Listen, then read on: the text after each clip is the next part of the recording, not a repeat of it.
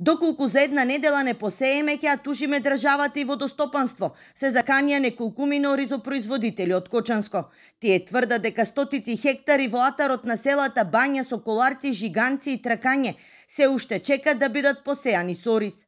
Водата од хидросистемот Брегалница доцни. Земјоделците стравуваат дека се пробиени сите рокови, а доцната сеидба ќе резултира со лош квалитет и доцна жетва. До 25 ако не посееме, ние сме готови. До 28 најкасно. Лани ово време ги тука бе сееме на 14, од 10 до 14 мај. Сееме ги тука. Сега 20. А нема те гледај полето, гледај, гледај. Нека види. Вода нема. До сега требаше да се посее од брегалница тие што ги посееме оризи веќе се стасени за прскање, а тука бер нема. Не знам што ќе правиме. Под оваа година е катастрофа. Катастрофа. Полошо не, јас сум 65 години, 66 почна, овакво каснење со водата оваа површина тука на овој терен не е било. Не е било и овој е срамота што се работи. Никој не презима мерки, нима техничар да дојде, нима водар, нима руководител од водна заедница да минат да видат додека се станал никој, никој.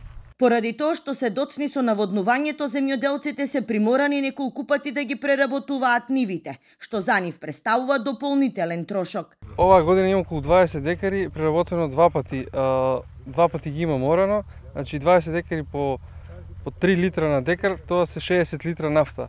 А, исто така имам и вложено околу 2000 евра за ѓубрива и препарати кои што стојат не се искористени. Заради неисчистените канали и лошата организација, оризопроизводителите на одговорност го повикаа директорот на водостопанство. Побараа да ги ослободат од воден на доместок, а порача дека правдата ќе ја барат по судски пат. Ќе тужиме Министерството за земјоделие, ќе го тужиме и водната заедница да штета не биде надокнадена. Приноси ќе бидат за 50% намалени, а трошковите за 100% зголемени, што значи ние сме катастрофална загуба. Собствениците на сувите ниви договор за наводнување имат подпишано со Светениколската подружница на водостопанство. На официјалниот сајт објавено дека водата од десниот магистрален канал е пуштена уште на 9 мај, но зошто се уште се суви дел од каналите е неизвестно. Пробавме да стапиме во контакт со раководителот, но нашите обиди беа неуспешни. Оризопроизводителите се заканија со протести, доколку за 6 дена не добијат вода.